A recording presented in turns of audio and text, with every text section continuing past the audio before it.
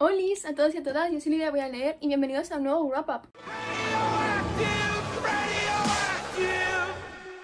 Tengo por aquí todos los libros que he leído en agosto, que han sido un total de 8. Estoy súper contenta, no solo por la cantidad y la calidad, porque han sido bastante buenos, sino porque me he pasado todo el verano leyendo libros pendientes. O sea, acabo de hacer un recuento para hacer mi TBR de septiembre de cuántos libros tenía en la, estantería, cuáles me quería comprar. Y me he dado cuenta de que me quedan nueve libros en físico pendientes. O sea, nueve libros que aún no he leído y empecé el verano con 33 que tenía sin leer. Eh, una barbaridad, haré un vídeo de todo lo que he leído en verano, reacciono también a ese TBR de verano que yo me hice que ha sido un fail porque ahí había mucha compra y la verdad es que este verano no me he comprado casi nada de libros, por no decirte nada. Dos, sí eso, y ya me los he leído.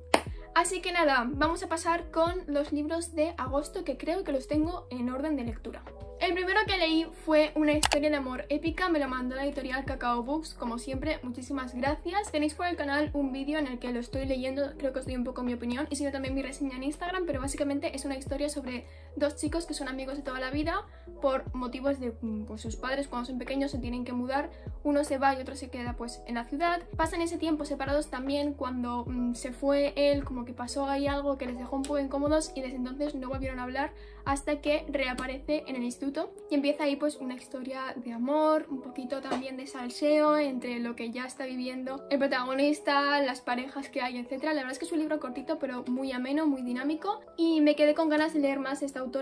Luego el siguiente libro que leí, no tengo que decir mucho, Fulgor, eh, la última parte publicada de la serie Crave. Tenéis mi reading blog de 25 minutazos. La verdad es que eh, fue un vídeo intenso porque el libro es muy intenso. Lloré un montón, pero muchísimo. Creo que es con el que más he llorado de la serie Crave porque ese final y todo lo que pasa antes del final es... Uff, son muchas emociones. Tanto para bien como para mal en el sentido de... ¿Por qué tengo que pasar esto? Pero bueno, ya es mi opinión, en general le puse un 4,5 de 5, me gustó un montón, pero sí que es verdad que lo que es la fantasía no es la fantasía que yo buscaba, yo pensaba que iba a estar mucho más desarrollada, yo pensaba que iba a haber momentos más épicos, yo os lo comenté en el reading blog, habían cosas que no me gustaban como el no encontrar el momento adecuado para añadir cierto humor o ciertas reacciones, situaciones. Eso como que a veces me sacaba mucho del contexto del momento. Nivel, pues hay una batalla, está pasando algo heavy y que de repente la protagonista tenga un pensamiento como en plan, ay joder, vaya lío, cosas así, ¿no? Bueno, como que no es del todo la fantasía a la que yo estoy acostumbrada, que es un poco más, no quiero decir seria, pero es así como lo siento, pero sí que es verdad que es una saga muy buena para empezar a leer fantasía. Y estoy deseando leer el siguiente, mm, Vamos a ver si se anuncia ya en español, ¿no? Por aquí un pequeño llamamiento a Planeta, dadnos algo porque estamos aquí un poco estresadas todas. Este libro ha sido una de mis mejores lecturas del año y en parte yo lo sabía, solo que pues he tardado mucho en leerlo porque no sabía si comprarme las ediciones en, inglés o en español. Al final, por prisas y porque venía la mm, autora aquí a España, me lo compré en español para asistir a la firma y que me lo firmase estando pues en el idioma de la editorial que organizaba el evento. Me compré Asesino de Brujas por Shelby Maurin, le he puesto 5 estrellas de 5. Por aquí no he dicho nada, creo que por el canal, pero por Instagram me teníais chillando, comentándolo con todo el mundo porque mucha gente se ha leído esta trilogía y lo puedo comentar un montón. Eh, de verdad, o sea, me ha flipado a niveles...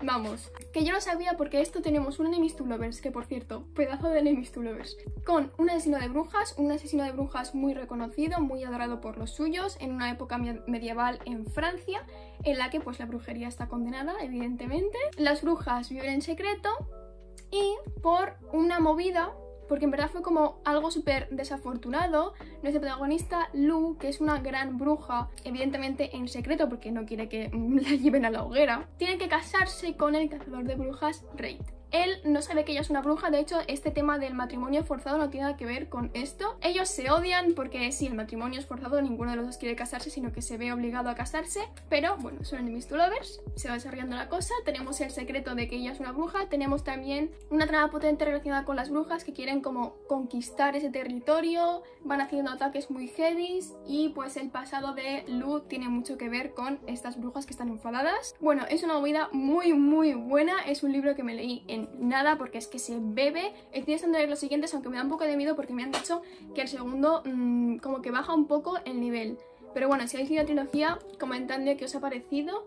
cuál os ha gustado más de los tres, que yo a pesar de que tengo miedo por el siguiente, mm, tengo muchas ganas igualmente porque es que lo necesito. Después de ese final, lo necesito. El siguiente que leí es el único libro que releo cada X tiempo, es Romeo y Julieta por William Shakespeare, es mi clásico favorito. Me ha gustado mucho, es mi clásico favorito, no sé qué tiene, si es la pluma, si es la historia, si es la ambientación, pero de verdad que me atrae un montón, me flipa. Esta edición me parece preciosa, es la edición bilingüe, tiene tanto español como en inglés.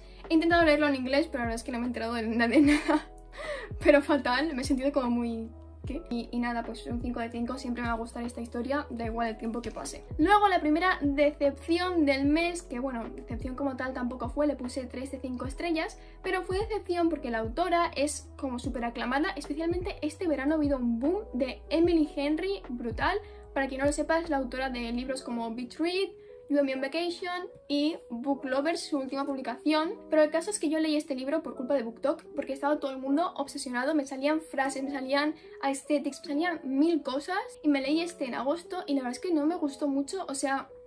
La historia es entretenida, me lo pasé bien leyéndolo, me flipó sobre todo porque trata sobre eh, una agente literaria y un editor, si mal no recuerdo, que pues se juntan en un proyecto. Al, al principio ellos no se llevan bien porque ella le presenta a él un montón de proyectos de, autores y demás y él los rechaza todos, entonces pues tienen como ese mm, tira y afloja y decir, tío, es un rivals to lovers y al final pues se juntan casualmente en un pueblo veraniego cuando están los dos desconectando por la vez trabajando y pues como que se meten un poco más en la vida del otro, se conocen más y pues su relación avanza. He leído mejores. La verdad es que no conecté mucho con el humor, tampoco con los personajes. Sabéis que las comedias románticas tienen como esta fase de que es todo divertido, jaja, qué monos, luego tienen como el problema de ellos y hay una parte que es el problema principal, que es como lo que hace que se separen, pero luego vuelvan, así funcionan todas las comedias románticas de todo el mundo, películas, libros, lo que sea.